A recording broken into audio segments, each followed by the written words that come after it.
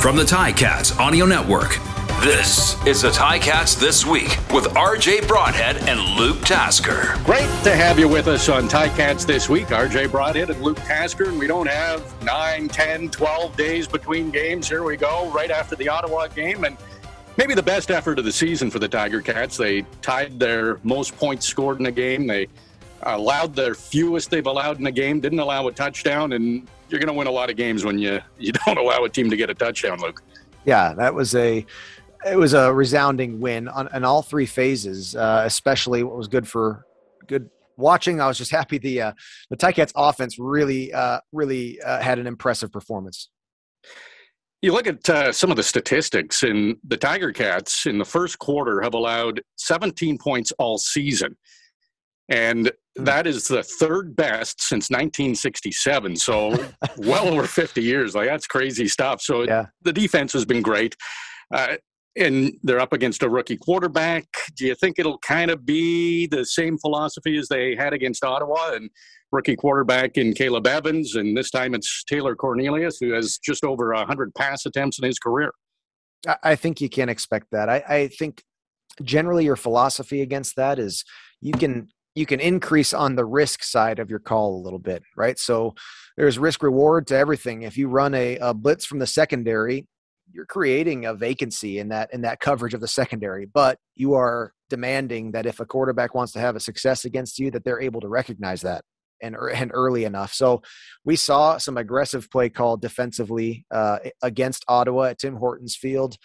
Uh, and and some success in the pass rush especially. I think that if you're any young quarterback really any quarterback but any especially young quarterback preparing against this hamilton defense you've got to be asking yourself what are they what kind of what are the blitzes that they're going to bring and how much time am i really going to have here? Because if your eyes aren't sharp in the moment if you're not recognizing that man zone and seeing where the pressure is coming from you, you, the clock is going to expire as far as your time your time in the pocket to make to make a play. So I think I think that we can expect from Mark Washington and the Hamilton defense uh, uh, uh an aggressive uh, uh, blitz like like we've continued to see and. Uh, you know what I think about these defensive secondary. You know, even if you have all the time in the pocket, somebody has to get open to, to throw that to throw the ball to. So I think we'll see a good show again. Yeah, it's been fun to watch that secondary all of them have at least an interception. Cariel Brooks leads the league with four interceptions. Simoni Lawrence in the mix. Going back to the Edmonton offense, with a rookie quarterback, it would lead one to believe we'll see a lot of James Wilder Jr. He's on pace for over a thousand yards rushing. Just him and William Stanback of Montreal are the only two on pace for over a thousand yards. But the Hamilton defense has allowed one 100 yard rushing game in their last eight games. I don't know about you, but I'd be surprised – if Edmonton's able to run the ball. Hamilton's defense has been has been that good to, at shutting down the run. Yeah, and Wilder Jr. has has had success against difficult defenses throughout his career. He is an exceptional running back. Uh, I think that we've seen sort of a tale of two stories with the Hamilton uh, uh, run defense. Early in the season, we would see them not allowing. I mean, the first game against Montreal, Stanback was expected. We were expecting to see an, an incredible rush attack and rush attack, and Hamilton defense. I mean, uh, uh held him to to effectively no effect on the for the Montreal offense, and uh, and then at times we've seen uh, some teams have success as well. I, I think this is about at this point in the season they find themselves the Hamilton defense that is with their their healthy front four with their guys starting who are intended to start and they're operating at a high level. Um, I do think you can't expect a guy like like Wilder to have a no uh, to have no yards gained. I mean, you're not expecting to hold him to nothing. You're just trying to limit those big plays and those explosive run plays that keep drives alive.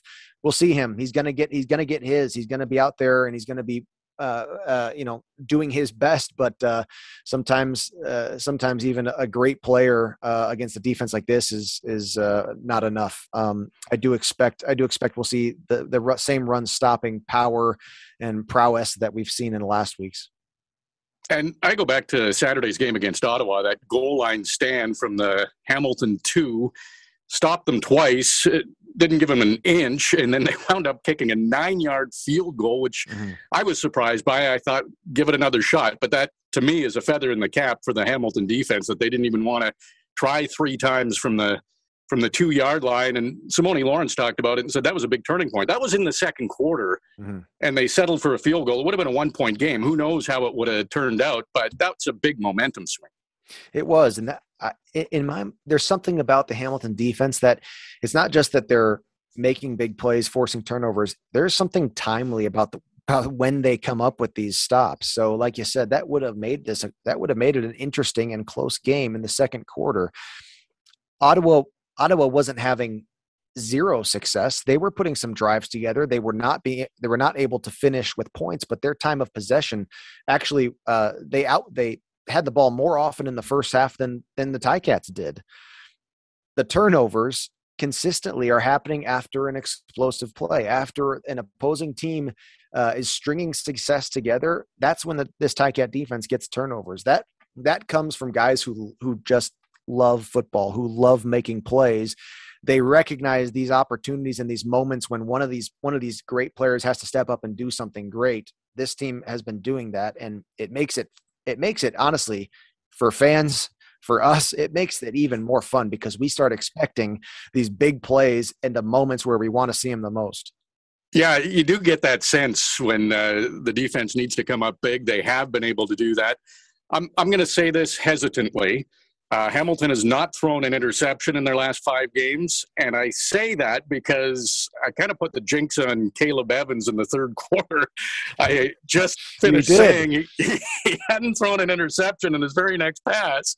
Des Lawrence picked him off, wound up throwing three interceptions. But that takes me to Jeremiah Masoli. You know him really well. Back to back 300 yard plus passing games. He's protected the ball, he's run the ball. Are we seeing the Masoli uh, back in 2018, 2019? I think we absolutely are. And uh, we touched on the success that he had the last two years, short of, of course, uh, the season ending injury in 2019. But I think we are absolutely seeing him at that level again it's that combination of making big plays and also controlling what you need to control, just controlling the little things and operating. You can have these explosive quarterbacks, these exciting quarterbacks, but oftentimes um, those big plays that they're able to make are are the next drive countered by a mistake or an inerrant throw or a turnover. Jeremiah's not doing that. He's taking his shots when he can take them, hitting the big strikes, but then he's just operating when he needs to. Uh, I think he's gonna he has a chance, I should say, to to get past 100 straight. I believe it's attempts without an interception. That's yes. uh, that's an impressive uh, threshold to hit. I'd be excited if that were to happen uh, tomorrow in Edmonton.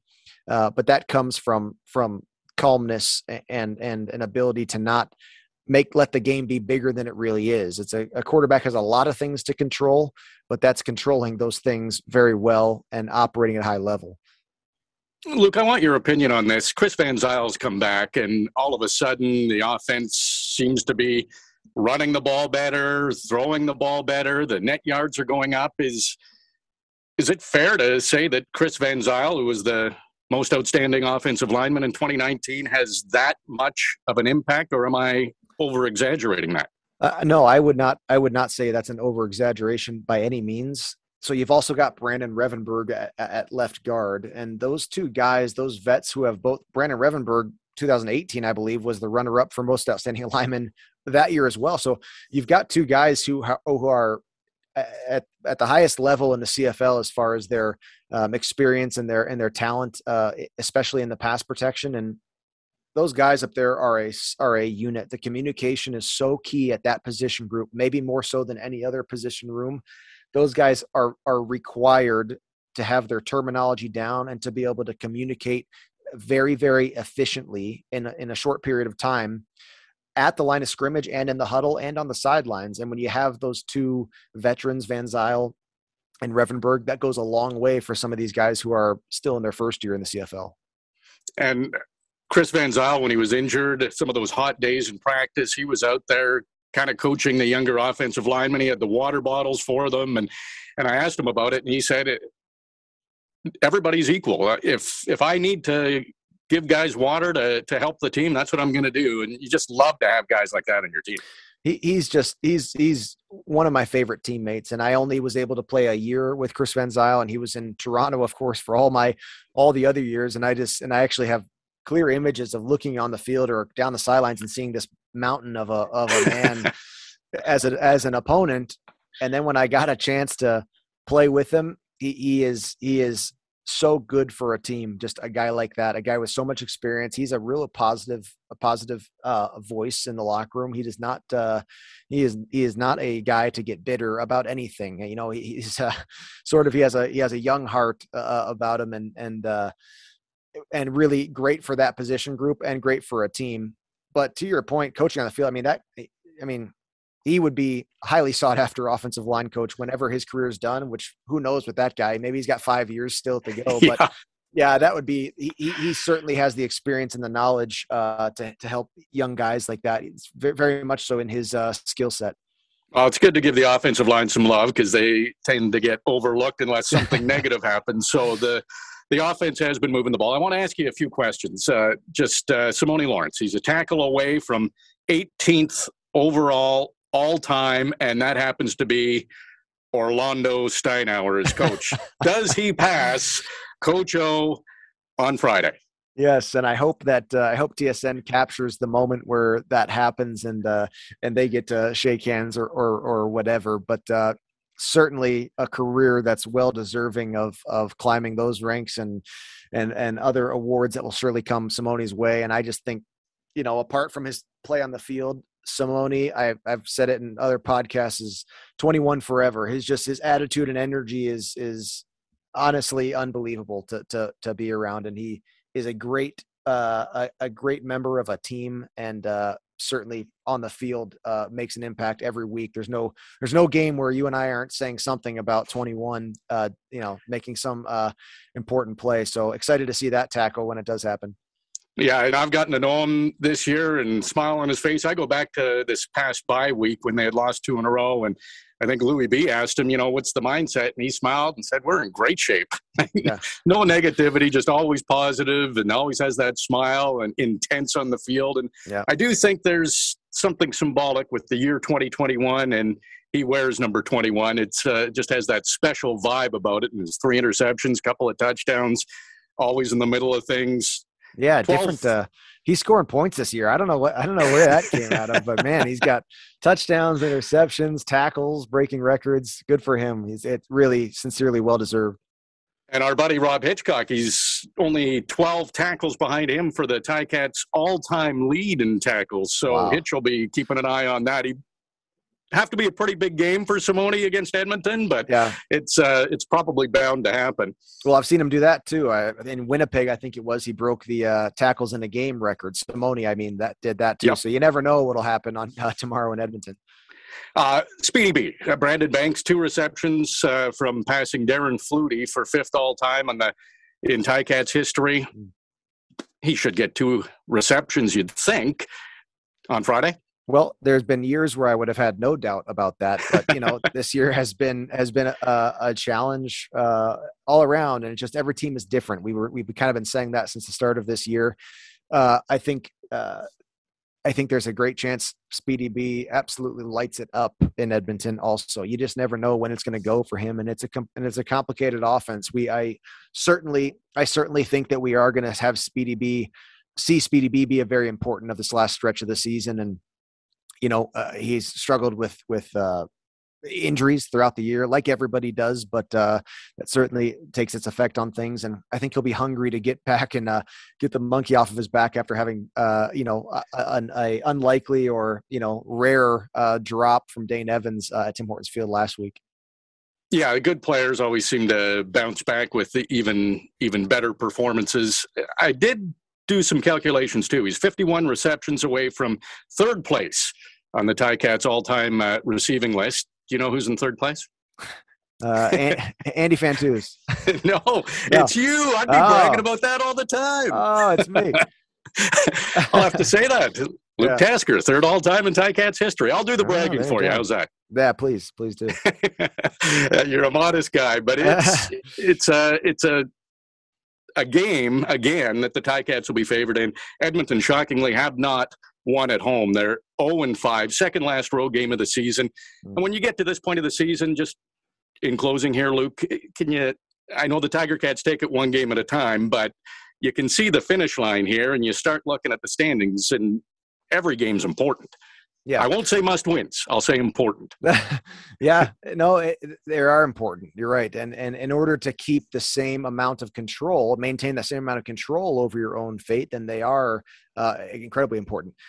I'll say this about uh, Edmonton: it, I believe, I believe that the only year that I that we had games left in the regular season when we were and we were locked out uh, was that was 2017. So you know we had started 0 and 8, and we had climbed back, but it was just too little, too late, and we ended up with three regular season games without a chance to make the playoffs.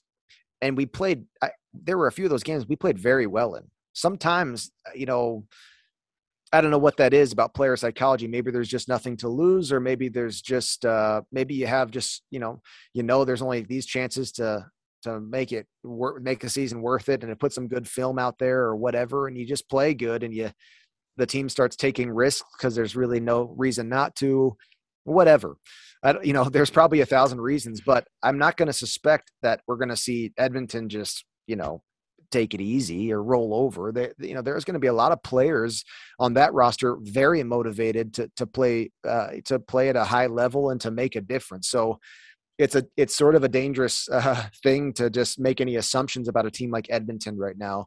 And uh, if you're Hamilton, we talked about it last week. You keep a losing team losing just by executing and uh, ensuring that you know they have every chance in the world to continue to make the mistakes they've made uh, so far this season.